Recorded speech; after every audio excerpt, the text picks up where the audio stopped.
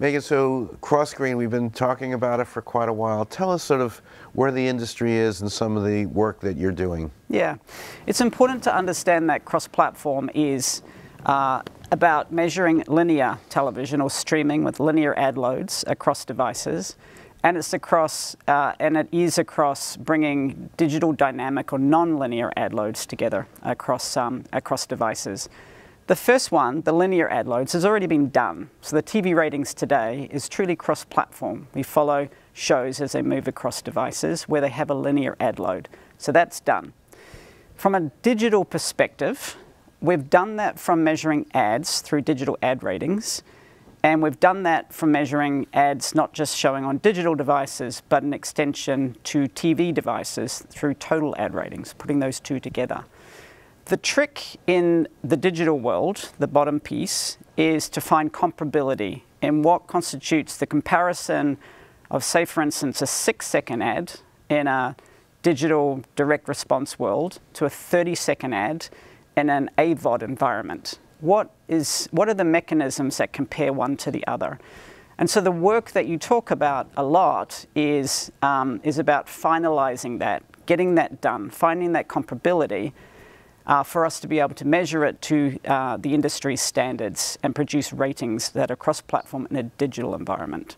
So the two are slightly different, but linear cross-platform measurement is done. And where does that stand in terms of industry adoption from your point of view? Look, I think uh, you know it's a it's a very difficult one because the the ad loads are different, the ad context is different, the way that they're used inside of different uh, programming is different. So to rest on uh, viewability standards between a 30-second ad and a six-second ad is hard, but somewhat to a place where it's close, if not done to, uh, to agree to what constitutes brand safety in a digital, pure digital environment to brand safety on the TV screen, which is somewhat easier, is work that we think will get done pretty quickly.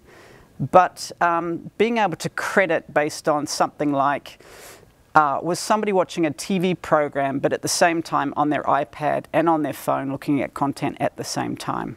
How do you credit that to the minute? It's really tricky. The devil's in the details somewhat. It's very tricky to put the rules around that and make sure that you ground yourself on a standard which is a common standard that the industry agrees to so that you can implement.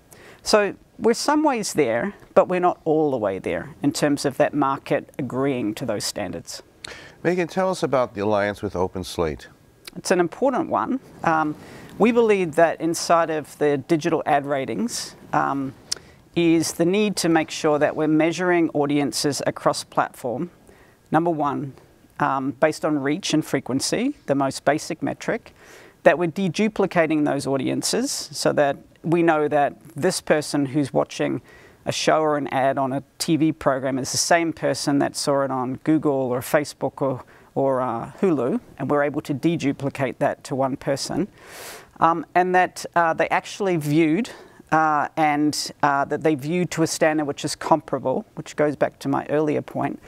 And uh, more and more importantly now is that that ad was placed in a brand safe environment. What OpenSlate does is it uses machine learning to work out what a brand safe environment looks like for a particular brand and is able to score back to the advertiser whether or not their advertising got into the right content. And we think that that is imperative to a hygiene metric, a true reach metric, and it's an important output for the advertiser to know that they got what they paid for.